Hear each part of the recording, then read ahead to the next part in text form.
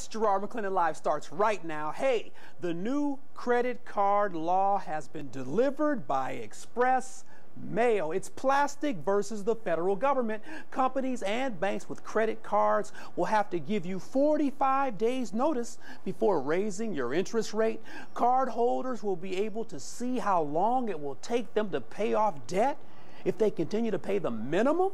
Activation fees will be capped at 25% of the credit limit. Due dates must remain constant and statements must be sent out 21 days before payment is due. Over the limit fees will be reined in as well. Cardholders must agree to permit transactions that exceed the credit limit. Only then can the over the limit fees be charged? And what about this one?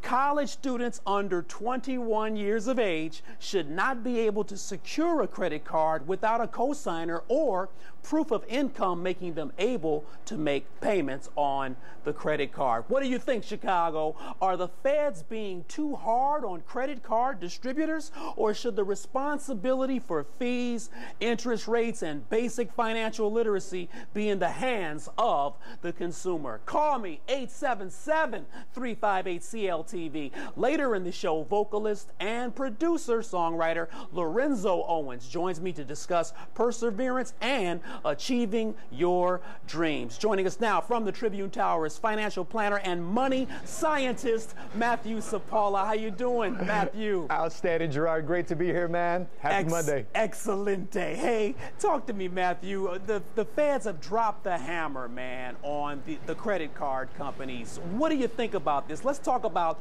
the fine print first. They're making the fine print being larger, it has to be easier to read and to understand. What do you think about that? Uh, it's about time. I mean, how many times have we been through high school or the basic financial literacy courses in school, if there is any, that teaches you how to pay off your credit card on time or pay off your credit card in a, in a, um, a meaningful amount of time where it doesn't uh, dig you in the pocket too much? Mm. I mean, I remember going through school. I, all I remember writing was about how to write a check. That's it.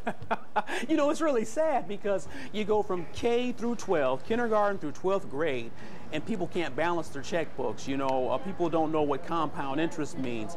People don't have the basic idea of what interest or what money management means. You know, I see you're trying to get in here. Talk to me. Why is this the case, and why don't we learn this even in our adult lives? It's amazing that you can get a master's degree, a PhD in this country, but yet when it comes to financial literacy, many of us are still in the kindergarten, first grade level when it comes to basic personal finance. Mm. You know, I sat down with a, a personal financial uh, uh, financial advocate in Colorado, and he said three things. Number one, the reason why they didn't implement these in schools is number one is that graduation rates would actually drop. Mm.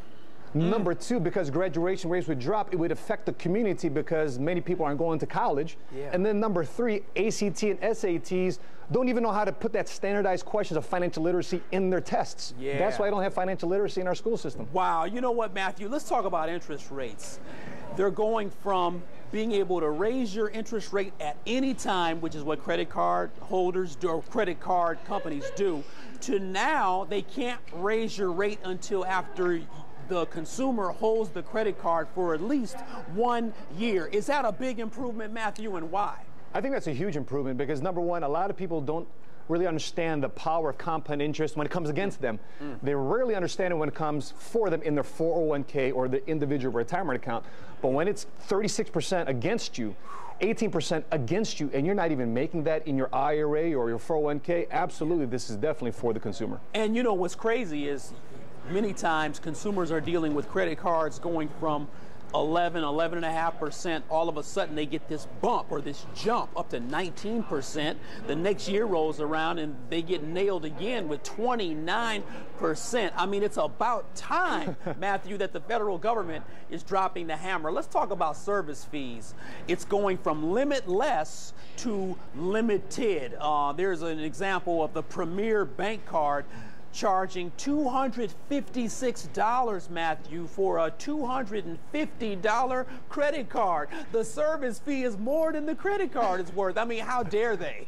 right. I, I, want to find the days where you can go to the bank and you can open up a secured credit card where you deposit $100 in a savings account or $200 in a savings account and you, you, you charge your credit card against that and that's your balance instead of having to pay these fees and then have to come up from, from being in the hole inside one of these Premier or Orchard Bank top credit cards.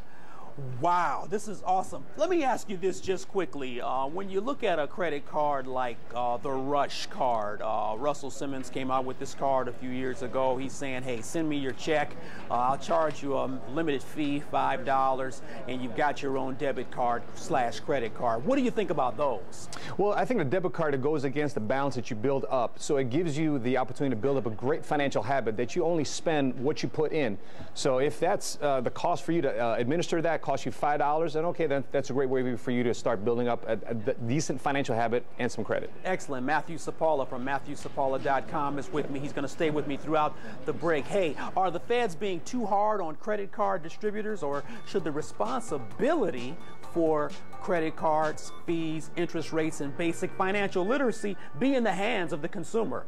The new credit card law is on tap tonight. Are the interest and fees killing you? Facebook me, Twitter me right now, or give me a call, 877 358 CLTV. Garrard McClendon Live, back in two.